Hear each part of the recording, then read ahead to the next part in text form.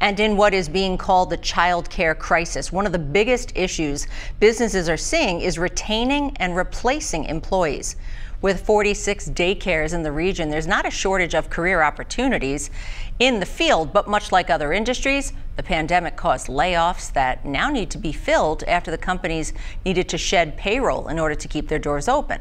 While the cost of childcare is a struggle for parents, Seven Rivers Alliance CEO Chris Hardie says that the issue filling open positions comes down to basic economics.